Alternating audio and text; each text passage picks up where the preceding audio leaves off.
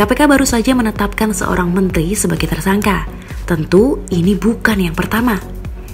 Tapi di sisi lain, sejumlah pihak menyatakan bahwa kewenangan KPK terus dikebiri lewat revisi UU KPK yang sudah disahkan DPR RI. Melihat hal ini, masih optimiskah dengan pemerintahan saat ini?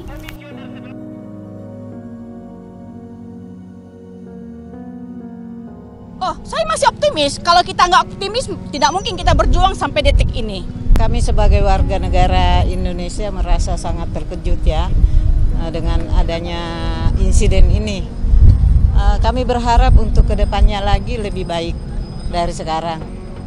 Intinya untuk untuk kami sebagai rakyat, intinya eh, maksudnya untuk KPK dalam pemberantasan korupsi ini harus benar-benar bukti dan nyata.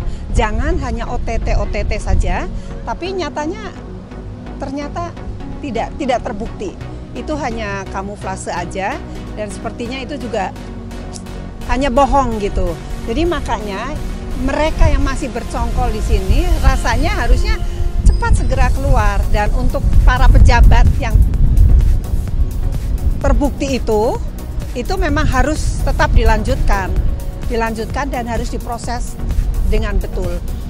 Sedikit sih karena banyak juga ya uh, kayak yang uh, ketangkap korupsi kayak gitu tapi mudah-mudahan makin ke sini makin berkurang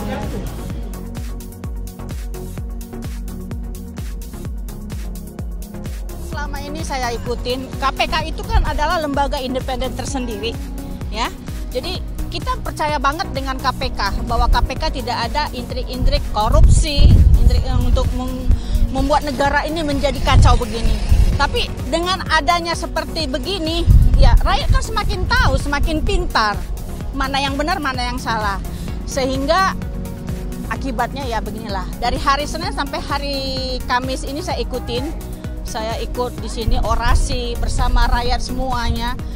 Baru terbuka mata-mata uh, ibaratnya mata rakyat terbuka semua. Seperti apa tubuh KPK ini yang sebenarnya. Oh masih, kami sangat optimis untuk kemajuan negara kami Indonesia. Oh sangat optimis. Jokowi itu benar-benar dipilih oleh rakyat. Oh, sebenarnya agak kecewa juga ya sebenarnya. Cuman kan mungkin manusia ada salah dan benarnya. Jadi ya kita lihat ke depannya aja mungkin seperti apa.